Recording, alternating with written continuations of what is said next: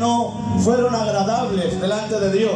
Es verdad que durante un tiempo se levantaron muchísimos problemas en mi vida y veía cosas que no estaban sucediendo, pasaban cosas que es verdad que, que no estaban pasando y el diablo me hacía de, ver cómo estaban pasando. Y es verdad que sí, que durante un tiempo el diablo me estuvo maltratando psicológicamente y me aparté de los caminos del Señor. Pero te tengo que decir algo bajo la experiencia que Dios tiene conmigo cuando yo pasé por su voluntad. Es verdad que el demonio te puede maltratar la mente y para sacarte de la voluntad de Dios necesita un tiempo para hacerte ver las cosas que están mal. Pero al igual que el diablo necesita mucho tiempo para sacarte de la voluntad de Dios, mi Dios necesita un segundo para restaurar tu vida. Mi Dios necesita un segundo para darte a entender que lo único verdadero es Él. Hay de aquellos matrimonios que vienen a la iglesia, que hay muchos que aparentemente vienen a la iglesia con una sonrisa en la boca, pero su matrimonio se está a punto de romper. Hay cuantos matrimonios vienen a la iglesia que no lo sabe nadie, pero hay un problema interno que si no lo soluciona Él, no lo soluciona nadie. Pues te tengo que decir hoy, con lo joven que soy, en esta amada iglesia, la última palabra la tiene Dios. Si te sales de su voluntad, te sales de su camino. Bueno, vamos a cantar un coro del videoclip, ponemos dos alabanzas y esperemos que cuando pongan los videoclips os guste, porque es un trabajo que cuesta, pero lo más importante es que con que haya una persona que no haga más, lo que voy a poner ahora aquí me vale. Así que nada,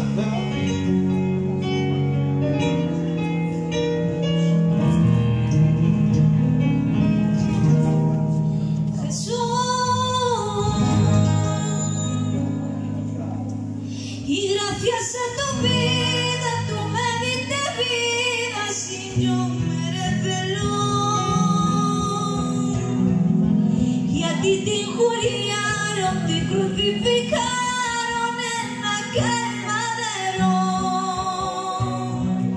Viene el Getsemaní y acá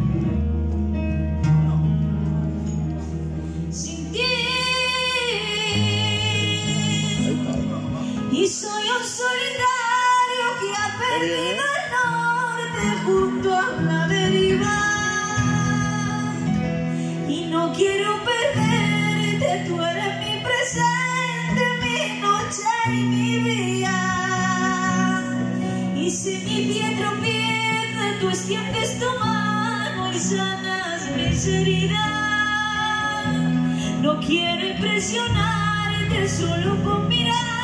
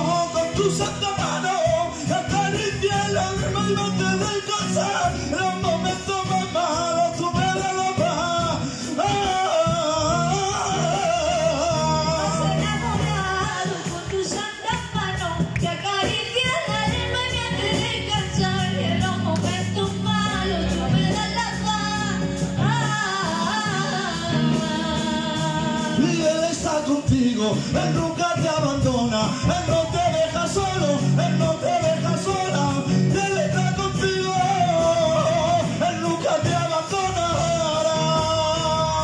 Y Él está contigo, Él nunca te abandona, Él no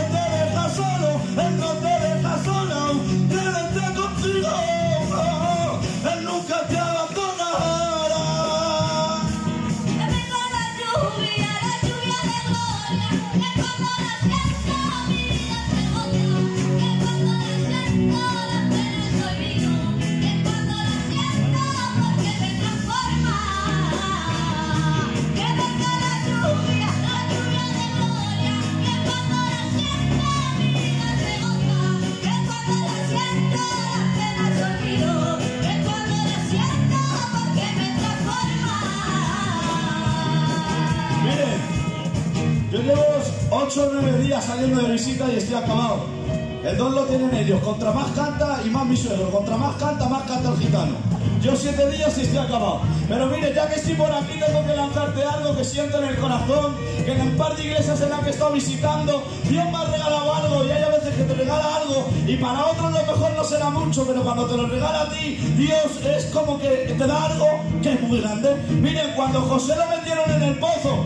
¿Sabes lo que dice la Biblia? Que los hermanos de José se sentaron a comer. Pero si tú te miras un poquito más para atrás, le dice el padre a José, ve donde tus hermanos y llévale alimentos para que ellos coman. Antes de que le metieran al pozo, primeramente le robaron la comida porque ellos no tenían alimento para comer. A José lo vende y cuando lo venden y está dentro de la cárcel, por así decirlo, lo ponen como líder para repartir comida dentro de la cárcel. Pero cuando le llama Faraón, eh, con un sueño que tuvo, guardó todo el trigo y por así decirlo liberó al mundo de que no pasara hambre. Pero cuando vinieron sus hermanos, puso un gran banquete y les puso de comer. ¿Sabes cuál era la virtud de José? Que en el momento en que estaba reinando tenía alimento, pero cuando estaba allá abajo también tenía alimento, porque solo tenemos alimento cuando estamos reinando, pero cuando estamos allá abajo, pocos tenemos alimento.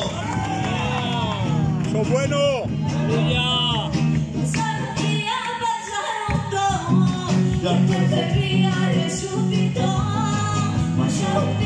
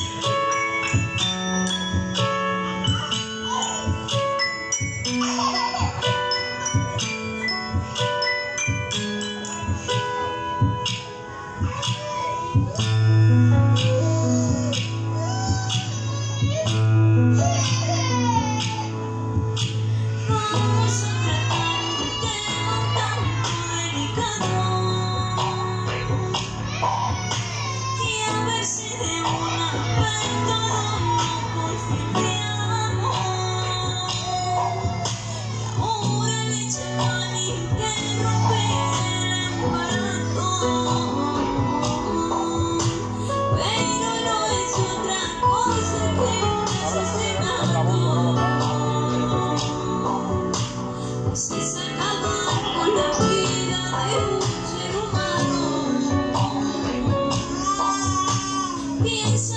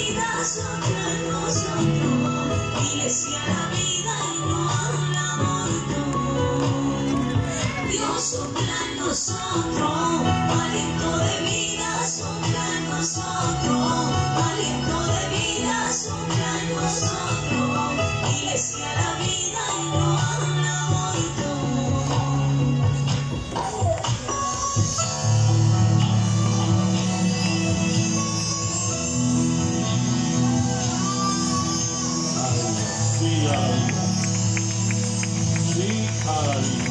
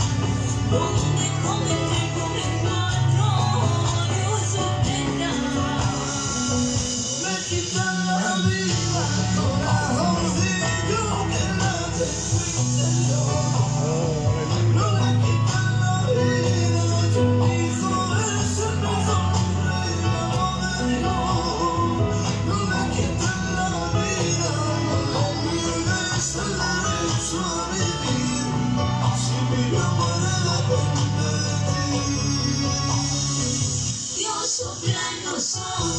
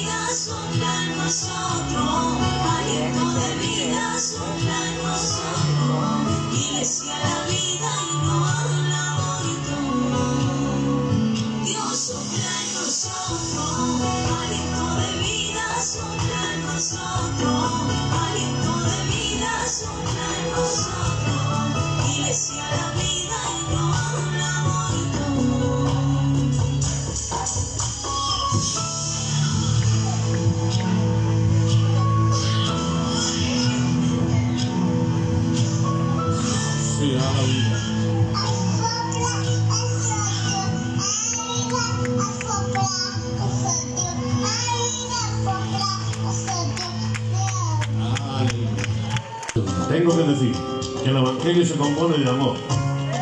Si no hay amor, no hay evangelio. Repito, si no hay amor, no hay evangelio. El evangelio es amor. Porque dice el Señor, en esto conoceréis que sois mis discípulos, que os améis los unos a los otros, y que es el bendito. El evangelio es amor, en el nombre de Jesús de Nazaret.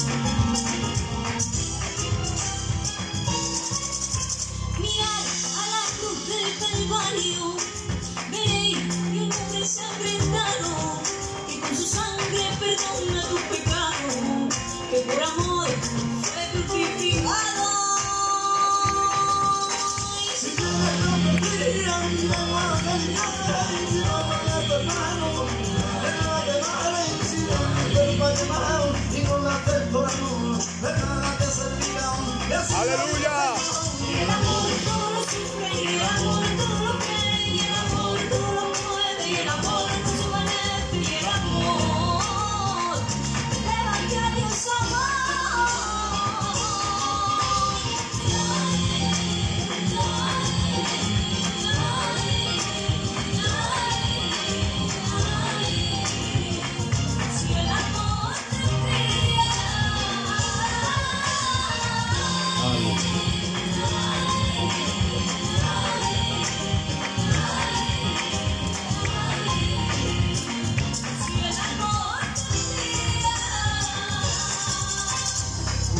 El Señor nos enseña que de tal manera amó Dios al mundo que entregó a su unigénito para que todo aquel que le crea no se pierda, mas tenga vida eterna. ¿Sabe por qué está usted aquí hoy?